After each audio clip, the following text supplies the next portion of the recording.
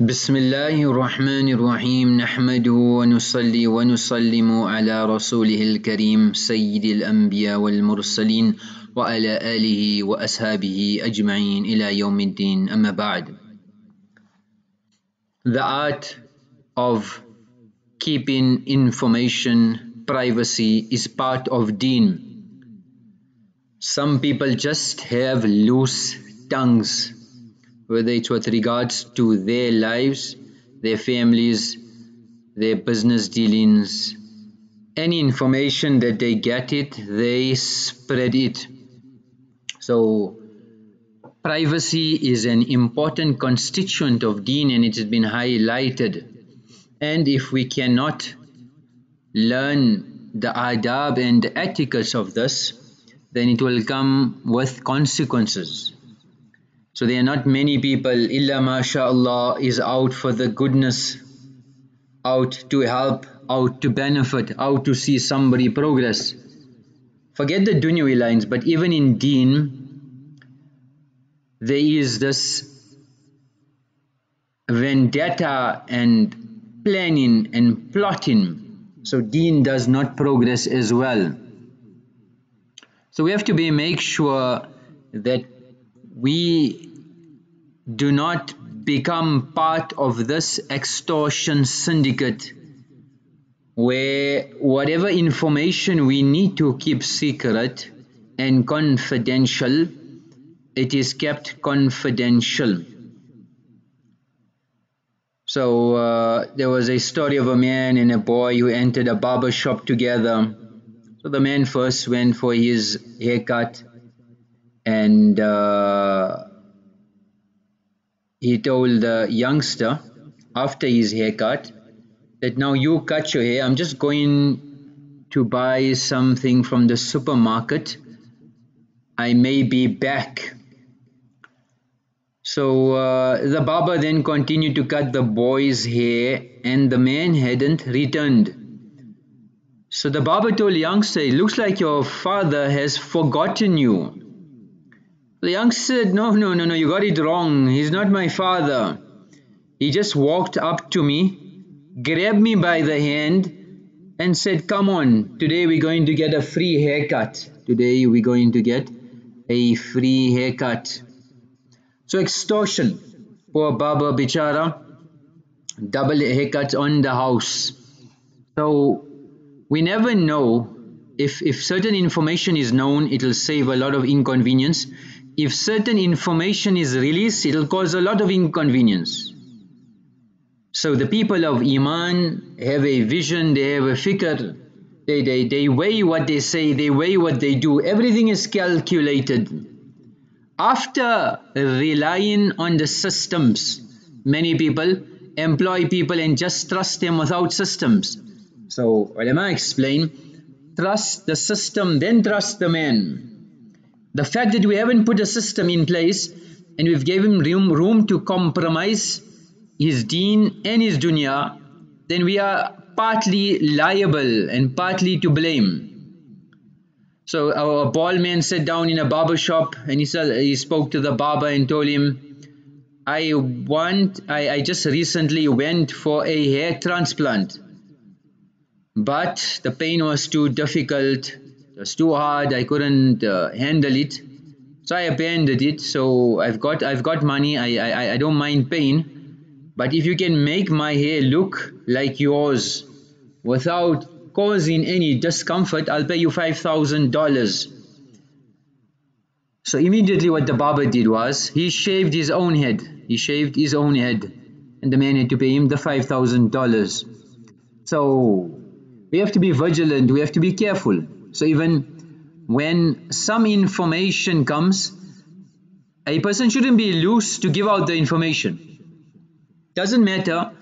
كفى بالمرء إثما أن يحدث بكل ما سمع كفى بالمرء كذبا أن يحدث بكل ما سمع This is sufficient to make a person a liar to consider it to be false where everything that he hears he promotes.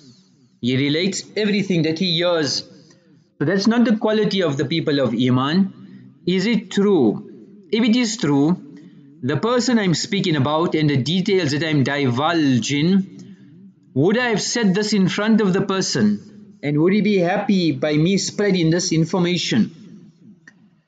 If it's true and even if it doesn't mind will it benefit me in akhirat?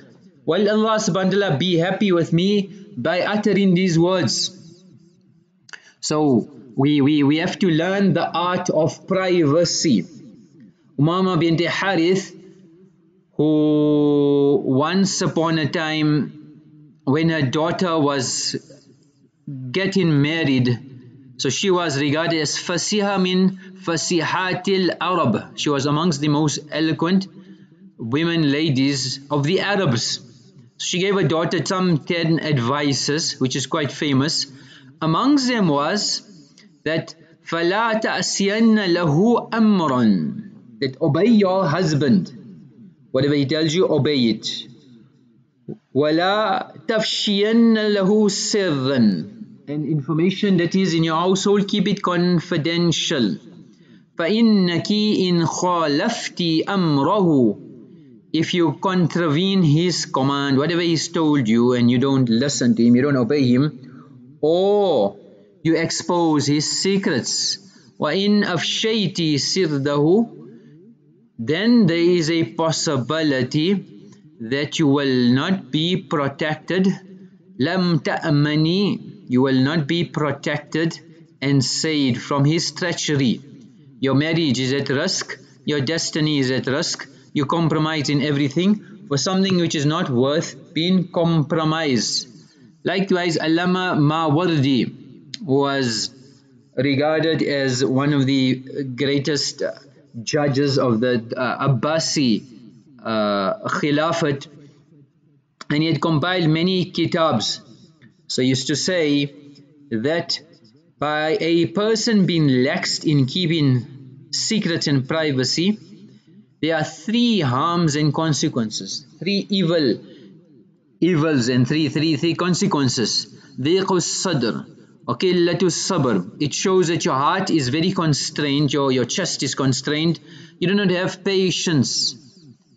You are not a person that has patience. Secondly it is a sign of negligence from the warning of the intelligence and a fault of what the wise have warned you for and number three that you've opened yourself to betrayal and disloyalty.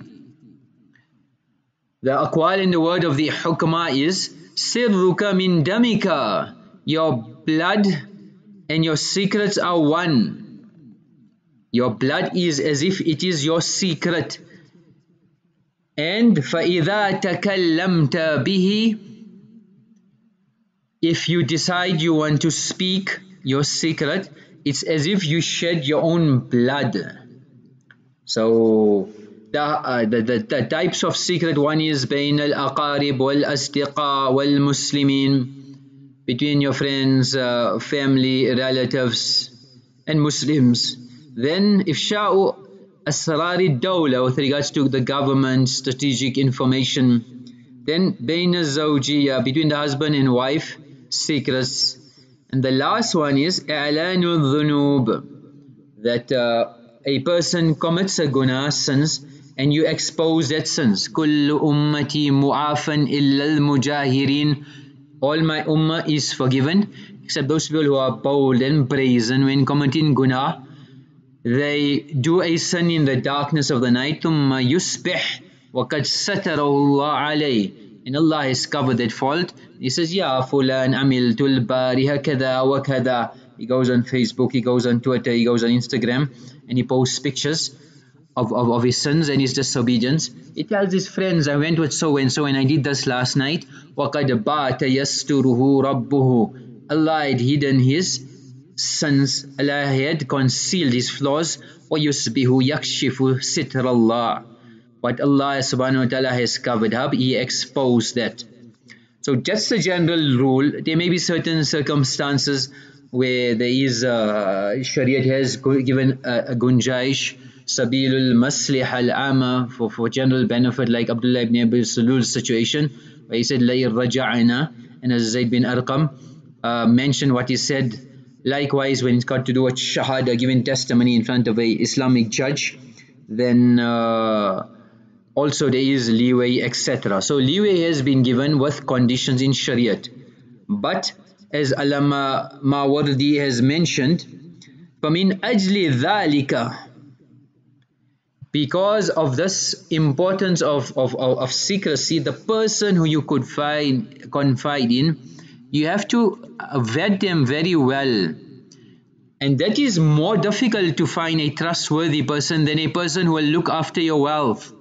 وَكَانَ حِفْظُ الْمَالِ أَيْسَرَ مِنْ katmil asrari used to say that protecting wealth is easier than preserving a secret so uh, a person should be very cautious even with regards to information who in your household family should know certain information sometimes when when there's a need then uh, the, the the authorities the people that need to get information thieves rely on the children.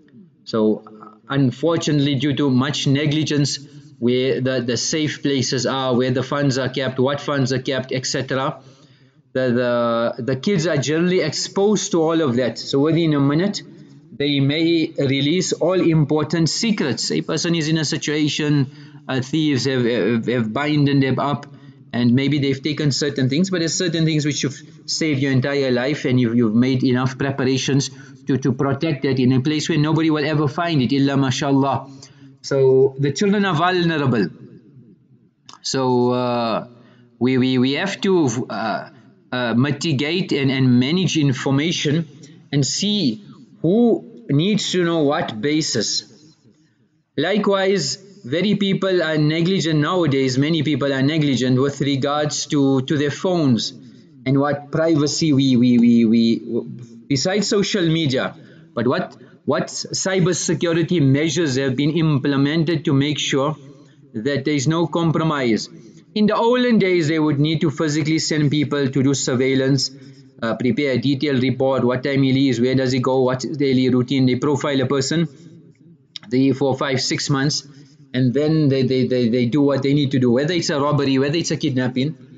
Nowadays it's gone more advanced with a touch of a button they can monitor your every move with the tracking systems on phones. They can monitor your movement to the minute, to the second, the calls we are speaking to. They can have access to your conversation, your bank accounts, see what you're worth. So so so when, when they call the ransom they know exactly what and where your assets are so to such an extent they can hack into your surveillance systems and see in your businesses, see in your homes as well. So many people are negligent to the most basic cyber security.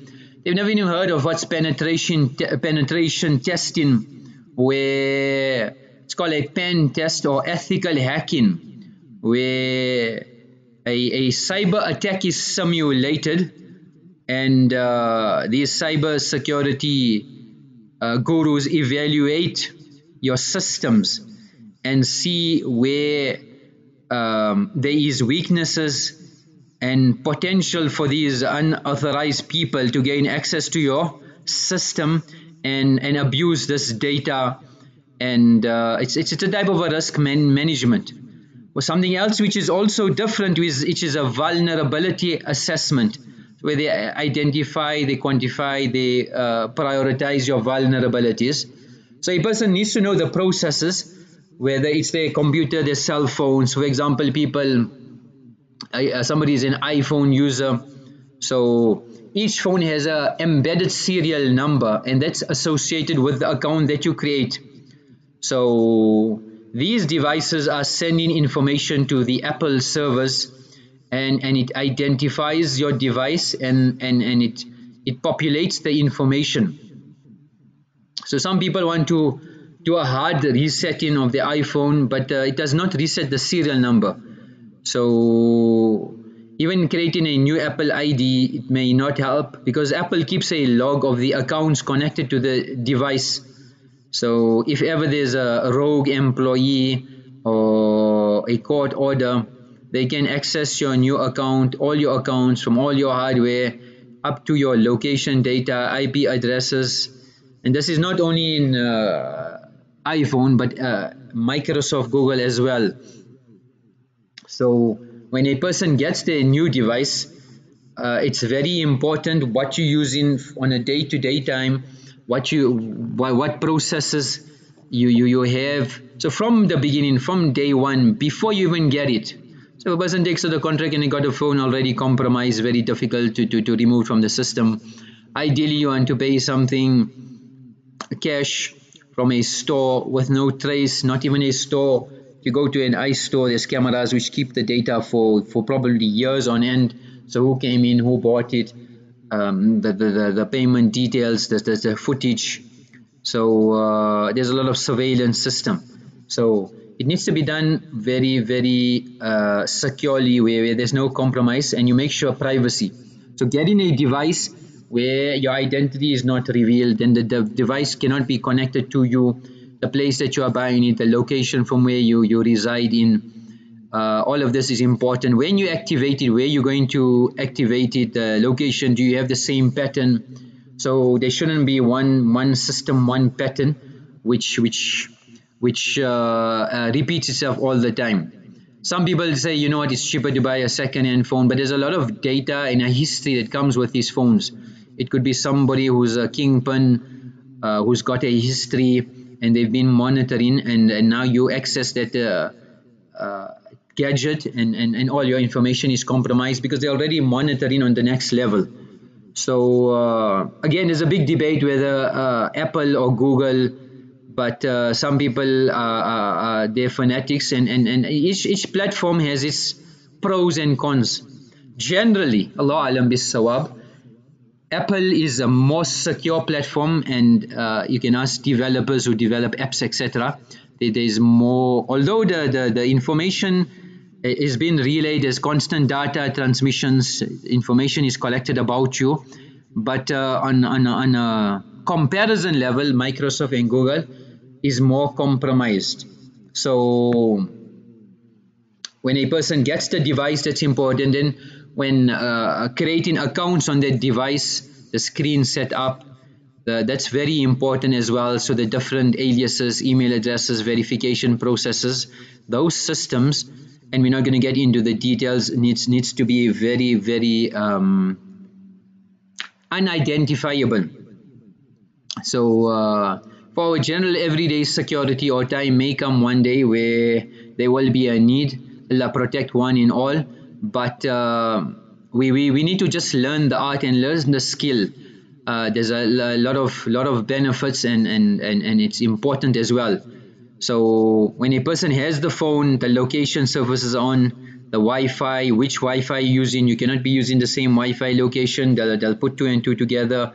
You cannot be using the same place. You cannot be activating it at the same place. Uh, so these are all all things which we you need to consider as well likewise disabling uh, services the the the, I, the cloud service uh, very very very very risky.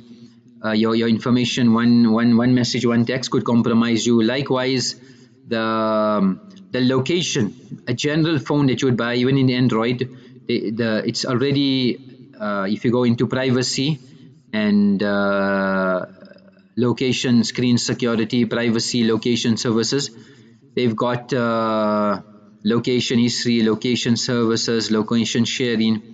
Then they've got even apps that have location permission so whatsapp have got already access to your location. You've given them permission. Google services and, uh, and, and, and preferences. So location services that's a no-go zone. Um, ideally if you had to use location services have a separate GPS or Garmin that you bought off the grid of the system with no trace and, and, and use that. Using the phone is, is folly for finding directions. You're literally exposing your entire life your, your location your, your, your strategic points. So that's a no-go. Likewise contacts you limit the applications the services calendar as well uh, photos if you're not going to need it when you need to do it you activate it. The microphone they can access the microphone and camera remotely. Uh, so there's a lot of functionalities which you need to disable uh, on the phone as well. Even the passcode uh, if it's a six digit number you could go into the passcode options and go to custom numeric code and, and make the code longer. So it's very difficult to hack as well. The facial recognition service that you shouldn't be using at all for many reasons. And uh, the question also whether you should go with a, a, a, fingerprint biometrics as well if you're in a position compromise under duress then you, you'll have to unlock your device. So so uh, that's happening now recently where people's bank accounts are cleaned out uh, in kidnappings and abductions as well. So you'll have to make a call. Likewise in the courts as well if uh, uh, certain countries jurisdictions you have to provide the fingerprint to, to open it up then you you are bound to do that. But if it's a code you're not bound to give the code. So these are all uh, important uh, things which we, we need to do for our preservation. And that ultimately is for the preservation of deen. The amal for today is the amal for miswak. So we should have a routine Musa radiallahu anh said, Abu Musa uh, Ashari radiallahu anh said, I entered on Nabi alayhi salam's company, دخلت على النبي صلى الله عليه وسلم وترف السواك على لسانه and I could see the miswak on his tongue the edge of the miswak on his tongue Nabi alayhi salam was utilizing the miswak so this should be like our daily routine now billah we've replaced the miswak with um, cigarettes we've re replaced it with vape there's e-cigarettes etc. All, all, of this year, our, our, our tongues are engaged in all forms of batil besides what Nabi alayhi salatu wasalam encouraged us to do. وآخر دعوانا أن الحمد لله رب العالمين